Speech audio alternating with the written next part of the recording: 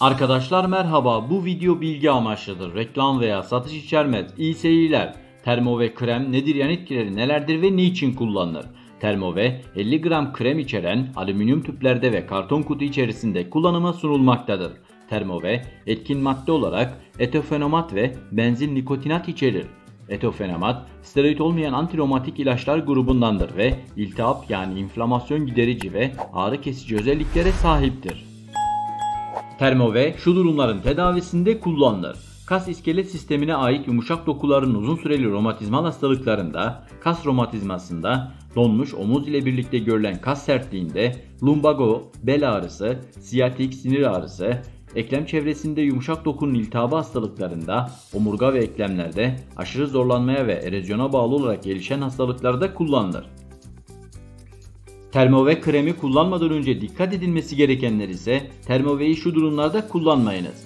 Eğer etefenomata, flomenik aside, benzil nikotinata ve termovenin içerisindeki maddelerden herhangi birine veya diğer ağrı kesici ya da romatizma ilacına karşı aşırı duyarlılığınız varsa, hamileliğin geç evresindeyseniz, emziriyorsanız, 18 yaşından küçükseniz, termoveyi şu durumlarda dikkatli kullanınız. Eğer uygulamanız gereken cilt bölgenizde hasarlanma, açık yara ve egzama ya da egzamaya benzer bir durum varsa, dudak, burun içi ve gözler gibi mukoza alanlar üzerine uygulamayınız. Bu uyarılar geçmişteki herhangi bir dönemde dahi olsa sizin için geçerliyse lütfen doktorunuza danışınız.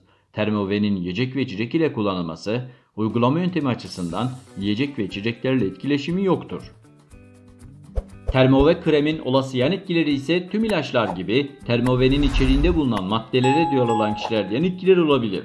Ciddi aşırı duyarlılık reaksiyonları, yaygın olmayan yan etkisi, ciltte kızarıklık, yanma hissi, çok seyrek yan etkisi, aşırı duyarlılık reaksiyonları ve lokal alerjik reaksiyonlar. Bu ilacı kullanmayı bıraktığınızda cilt reaksiyonları hızla ortadan kalkacaktır. Bu nedenle başka bir spesifik uygulama yapılmasına gerek yoktur.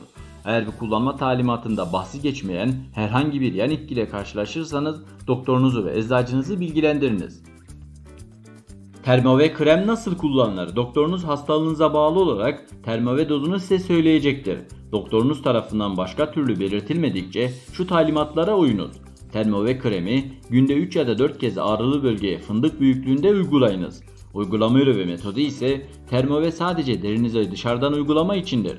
Termove kremin uygulanırken masaj başlığını kullanınız ve masaj başlığı hafifçe bastırarak dairesel hareketlerle kremi deri içerisine iyice yedirerek sürünüz. Tedaviye 2 haftaya kadar devam edebilirsiniz.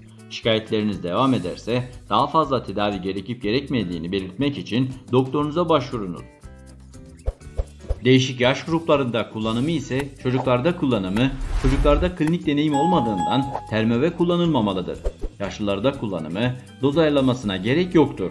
Termovenin saklanması Termoveyi çocukların göremeyeceği, erişemeyeceği yerlerde ve ambalajında saklayınız. 25 derecenin altındaki oda sıcaklığında saklayınız. Son kullanma tarihiyle uyumlu olarak kullanınız. Bu tür videolar izlemek için kanalımıza abone olmayı unutmayınız. Beğenmeyi ve yorum yapmayı unutmayınız. İyi seyirler.